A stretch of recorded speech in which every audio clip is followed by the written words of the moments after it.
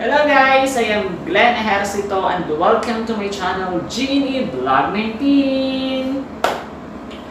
So this vlog is a farewell vlog. Hindi ko sinasabing mamamaalam ako, charot. Yung pamamaalam natin is para sa E ABS-CBN. Last night, May uh, May 5, in-announce na E ABS-CBN Channel 2 is now signing off. Nakakalungkot isipin. Sa, sa part ko, nal- nalulungkot ako. Hindi ko alam bala kayo sa nalulungkot kayo or whatsoever. Para sa akin, nalulungkot ako. Dahil sa, kung titingnan ang layo ng narrative ng ABS-CBN, ang dami ng problema na dumating at naging katuwa yung ABS-CBN. They have a lot of things na nagawa para patunayan na in the service of the Philippines. Pero yet, hindi ko naman hinuhusgahan or pinapabulaan yung desisyon.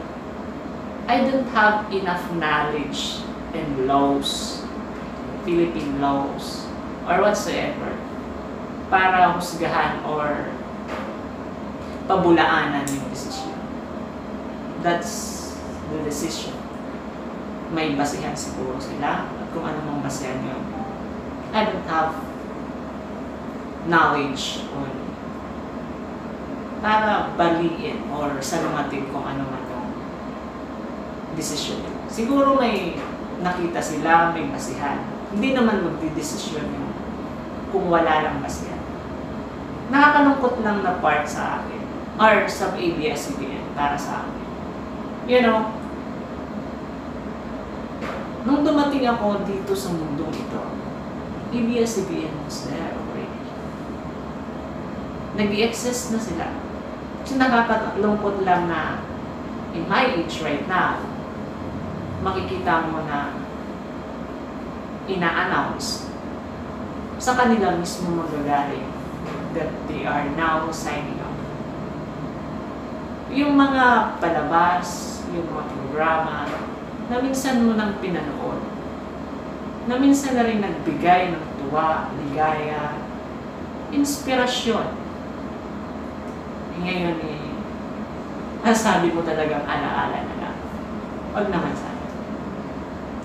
Kasi naniniwala naman ako that hindi pa tapos yung lahat. This is not an advice kasi hindi naman kailangan ng advice kung manggagaling sa akin.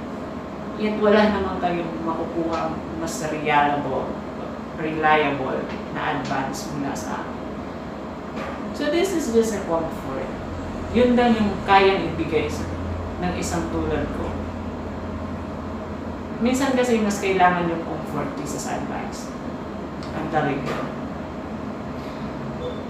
Yung laban na yun, eh, yung laban na ito, is sinasabi ko, hindi pa tapos.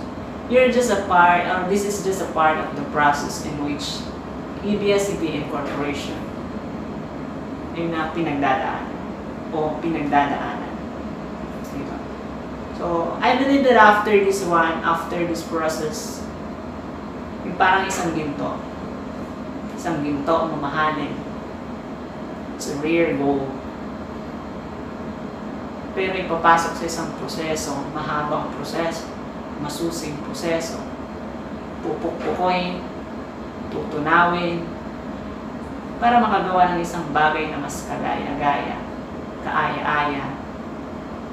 Isang bagay na mas makintab, mas mamahalin, mas world class. So I believe that this process is just a, part of it. Kung sa life process naman, this is just an, parang paru-paro. After mong mag sakripisyo, hindi naman natutulog lang yung paru-paro sa loob ng pupa, di ba?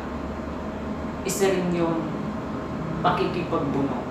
Hindi nila alam kung paano makakalabas sila. Pero alam mo na after a day, after such a period,